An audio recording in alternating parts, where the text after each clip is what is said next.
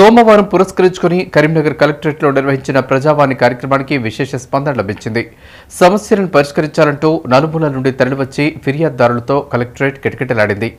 వచ్చిన వారి నుండి జాయింట్ కలెక్టర్ బద్రి శ్రీనివాస్ వినతి పత్రాలు స్వీకరించడంతో పాటు సమస్యల పరిష్కారానికి కృషి చేస్తామని హామీ ఇచ్చారు. భరోసా కల్పించారు. రెండు వేల పదకొండు నుండి రెండు వేల పదిహేడు వరకు రూరల్ వాటర్ అండ్ శానిటేషన్లో మండల కోఆర్డినేటర్గా విధులను నిర్వర్తించామని కానీ తెలంగాణ ప్రభుత్వం అధికారంలోకి వచ్చిన తర్వాత తమను విధుల నుండి తొలగించారని గంగాధరకు చెందిన ఆర్డబ్ల్యూఎస్ కోఆర్డినేటర్ సుధాకర్ ఆవేదన వ్యక్తం చేశారు. దీనిపై హైకోర్టును ఆశ్రయిస్తే తమకు అనుకూలంగా ఏడు నెలల క్రితం తీర్పునిచ్చారన్నారు. హైకోర్టు ఇచ్చిన తీర్పు కాపీని అధికారులకు సమర్పించినప్పటికీ ఇప్పటి వరకు ఎలాంటి చర్యలు తీసుకోలేదన్నారు. చివరకు ఈ అధికారి వద్దకు వెళ్తే ఆ అధికారి వద్దకు వెళ్ళాలంటూ తిప్పుతున్నారన్నారు. దీనిపై కలెక్టర్కు వినతి పత్రాన్ని సమర్పించినప్పటికీ ఎలాంటి స్పందన లేకుండా పోయిందన్నారు. ప్రజావాణిలో జేసీకి విన్నవించుకుంటే సమయం పడుతుందంటున్నారని సమయం పడుతుందని చెప్పేదానికి ఈ ప్రజావాణి కార్యక్రమం ఎందుకంటూ ప్రశ్నించారు. కోర్టు ఉత్తర్వులు గౌరవించని ప్రజావాణి ఎందుకంటూ నిలదీశారు. హైకోర్టును ఆశ్రయించడం జరిగింది. హైకోర్టు నుండి మాకు ఆర్డర్ కాపీ వచ్చింది. ఆర్డర్ కాపీ వచ్చిన తర్వాత ఇప్పుడు సెవెన్ మంత్స్ అవుతుంది.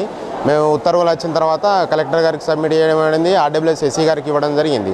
ఇప్పుడు ప్రోగ్రామ్ ఏమో ఆర్డబ్ల్యూఎస్ ఎస్సీ గారేమో డిఆర్డీఏ పీడీ గారికి వెళ్ళింది అంటారు డిఆర్డీఏ పీడీ గారిని వచ్చి కలిస్తేనేమో ఈ ప్రోగ్రాము మీకు ఆర్డర్ ఇవ్వమని ఎవరికి ఇచ్చారు కోర్టు హైకోర్టు ఉత్తర్వులు ఎస్సీ ఆర్డబ్ల్యూఎస్ గారికి ఇచ్చారు కదా అతను పోయి అడిగంటారు. ఇప్పుడు ఈ రెండు డిపార్ట్మెంట్ల మధ్యన ఆరు నెలల నుండి తిరుగుతున్నాం. ఆల్రెడీ ఒకసారి కలెక్టర్ గారికి ఇవ్వడం జరిగింది. మూడో నెల పంతొమ్మిదో డేటు రెండు వేల పద్దెనిమిదిన కలెక్టర్ గారికి ప్రజావన్లో ఇవ్వడం జరిగింది. సార్ మా మధ్యతరగతి కుటుంబాలు మాకు మరి కోర్టు ఉత్తర్వులు వచ్చినాయి మా మా జాబ్ మాకు ఇవ్వండి సార్ అని ఇస్తే మూడో నెల ఇస్తే కూడా ఎలాంటి రెస్పాన్స్ లేదు. ఇవాళ వచ్చి కలిసి జేసీ గారిని కలిస్తే మీరు ఇచ్చిన అప్లికేషన్ ఆరు నెలల నుంచి ఎనిమిది నెలలు పట్టచ్చు పది నెలలు పట్టచ్చు వెయిట్ చేయాలంటుండు. మరి ఎనిమిది నెలలు పది నెలలు పెట్టినప్పుడు ఈ ప్రజావాణి కార్యక్రమాలు ఎందుకు? ప్రతి సోమవారం వచ్చి వినతి పత్రాలు ఇవ్వమని అనడం ఎందుకు? ఇప్పుడు ఎనిమిది నెలలు పది పెట్టిన వాళ్ళే మా బాధలు ఎవరు అర్థం చేసుకుంటారు సార్? జిల్లా కలెక్టర్ గారే అర్థం చేసుకోలేదు. జేసీ గారు అట్లా మాట్లాడతారు.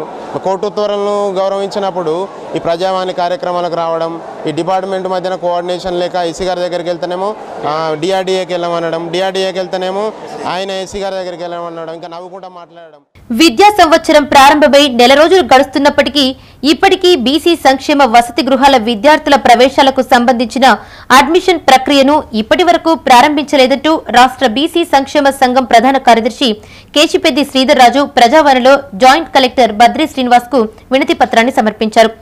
వసతి గృహాల్లో ఇరవై సీట్లు మాత్రమే మిగిలి ఉన్నాయని అధికారులు చెప్తున్నారని కానీ ఒక్కో హాస్టల్లో మూడు వందల మంది విద్యార్థులు దరఖాస్తు చేసుకున్నారన్నారు. దీంతో తమకు సీటు వస్తుందో రాదోననే ఆందోళనలో విద్యార్థులున్నారన్నారు. ఇప్పటికైనా అధికారులు పాలకులు చర్యలు తీసుకుని దరఖాస్తు చేసుకున్న ప్రతి ఒక్కరికి సీట్లను కేటాయించాలని విజ్ఞప్తి చేశారు.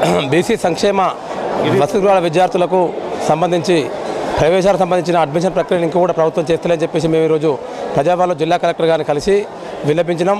ఎందుకంటే ఇప్పటికే నెల రోజులైంది విద్యార్థులందరూ కూడా దరఖాస్తు చేసుకుంటున్నారు. అసలు సీట్లు వస్తాయో రావనే ఒక ఆందోళన చెందుతున్నారు. అడ్మిషన్ ప్రక్రియ ఇంకా మొదలు పెట్టలేదు ప్రభుత్వం అధికారులు. ఆ తర్వాత విద్యార్థులకు ఏంటంటే ఒక్కొక్క హాస్టల్కు మూడు వందల మంది విద్యార్థులు దరఖాస్తు చేసుకున్నారు. ఆ ప్రభుత్వం వాళ్ళు చెప్పే అధికారులు చెప్పేందంటే ఇరవై సీట్లు మాత్రమే ఉన్నాయంటున్నారు.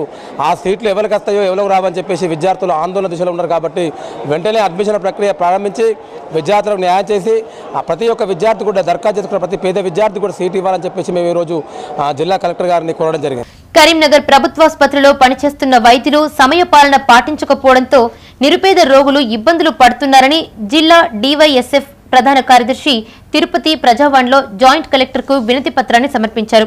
ప్రభుత్వాసుపత్రిలో ముప్పై ఏడు మంది వైద్యులు ఇరవై మూడు మంది పోస్ట్ పీజీ డాక్టర్లు మొత్తం అరవై మంది డాక్టర్లు పనిచేస్తున్నారన్నారు. వీరంతా ఉదయం తొమ్మిది గంటల నుండి మధ్యాహ్నం రెండు గంటల వరకు డ్యూటీ చేయాలని నిబంధనలు ఉన్నప్పటికీ కేవలం రెండు గంటలు మాత్రమే పనిచేస్తూ నిబంధనలు తుంగలో తొక్కుతున్నారన్నారు. ప్రభుత్వం నుంచి జీతాలు తీసుకుని ప్రైవేట్ ఆసుపత్రులకు వెళ్తూ నిరుపేదల ప్రాణాలతో చెలగాట మాడుతున్నారన్నారు ఇప్పటికైనా అధికారులు స్పందించి నిబంధనలకు వ్యతిరేకంగా నిర్లక్ష్యంగా విధులను నిర్వర్తిస్తున్న వైద్యులపై చర్యలు తీసుకోవాలని డిమాండ్ చేశారు. కరీంనగర్ గవర్నమెంట్ ప్రభుత్వ ప్రధాన వైద్యశాలలో ప్రభుత్వ వైద్యులు ముప్పై ఏడు మంది అలాగే పోస్ట్ పీజీ డాక్టర్లు ఇరవై మూడు మంది సుమారు అరవై మంది డాక్టర్లు ఈ ప్రభుత్వ వైద్యశాలలో పనిచేస్తున్నారు. కానీ పొద్దున తొమ్మిది గంటల నుంచి ఉదయం ప తొమ్మిది నుంచి పదకొండు గంటల వరకు వాళ్ళ డ్యూటీలు ముగించుకొని వారి యొక్క ప్రైవేట్ సొంత హాస్పిటల్లో వైద్య చికిత్స అందిస్తున్నారు. ఆ సమయంలో పదకొండు అయిన తర్వాత దూర ప్రాంతం నుంచి వచ్చిన రోగులు గవర్నమెంట్ హాస్పిటల్ డాక్టర్ లేని సందర్భంలో ప్రైవేట్ హాస్పిటల్ను ఆశ్రయించి లక్షలాది రూపాయలు ఖర్చు చేసుకుంటున్నారు. కలెక్టర్ గారు స్పందించి ఎవరైతే విధులకు ఎగనం పెడుతున్నారో ఆ వైద్యులను తక్షణమే సస్పెండ్ చేయాలని ఈరోజు డివైఎఫ్ఐ జిల్లా కమిటీ డిమాండ్ చేస్తుంది